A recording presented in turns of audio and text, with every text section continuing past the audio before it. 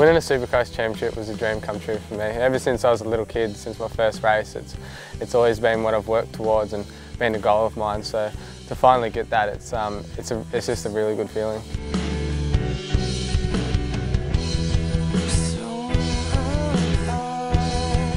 Started this year with not much at all. I um, approached Stephen Jones from AJ's Motorcycles in Shepparton and asked him if he could do us a deal and he was kind enough to help us out with the KTM 252 stroke and also with his suspension through TuneTech Racing. And we headed to round one of the motocross. We got some pretty solid results and then we came out at round two and I actually managed to qualify first and that was the first time in my career that I'd been number one at any point at a national event. So that was a big turning point for me from, in this year. Once I did that, I believed in myself that you know I could do this, I could win. If I could be fastest in qualifying, then I can win a race. So from there on out, my results started to build. I got my first moto win.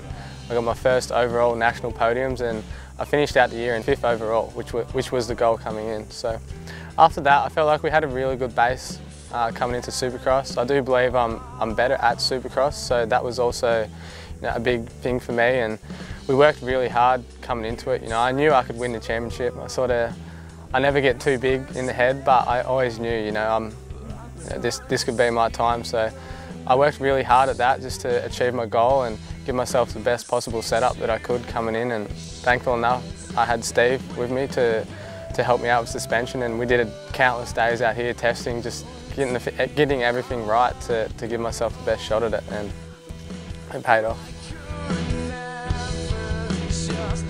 I actually did my first race when I was seven years old, just across the road from where I live. Uh, a local club started up and that was where it all began for me. And from there, I remember my dad approached me one day and said, you know, there's a race an hour away up the road from here and, you know, would you like to do it? And of course I said yes. And ever since then, it's just built from a club level to a regional level. Now we're at, at the national level of the sport. Yeah, Stephen Jones from TuneTech Racing has been a huge part of my success this year. I really can't thank him enough for everything he's done for me. I, um, I approached him about two months before round one of motocross and he helped us out and you know, I honestly believe the setup I've had this year, it's the best I've ever had and without that I wouldn't have been able to get the results that I've had. You know, we did a we did a lot of testing here before Supercross just to get me happy and to get me comfortable on the bike and I believe having confidence in your bike is a really big thing in Supercross and he was able to give that to me. And, it played a huge role in my success. Just having Steve there, you know, he's always positive, he's always got something good to say, and even just as a mentor and even as my manager, you know, he just helps out from just absolutely everything. I can't thank him enough for what he's done for me this year.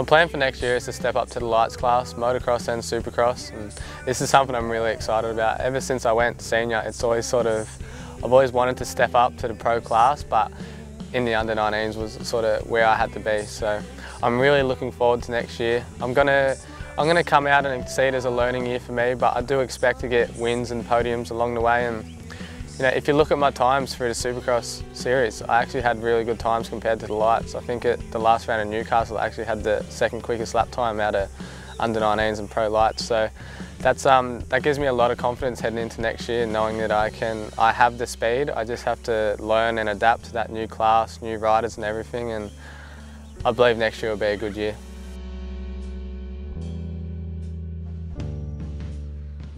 Being a part of the Fox family is a huge honour for me. It's, it's something I've, ever since a little kid, I've always loved the Fox brand and all their gear and all their clothing. And you know, it's a big honour to be a part of such a well-respected and, and well-known company. They've got some of the greatest athletes in the sport and even in action sports in general. So to be a part of that, you know, when, when Mick approached me at our round two Nationals and asked me if, you know, if I wanted to be a part of, of the Fox family, that was, um, that was something really great for me. That was, that was even better than, like, say, winning a, an overall win. You know, just to have that opportunity and be a part of something so special, it, it meant a lot to me and I hope the relationship continues into the future for a long time.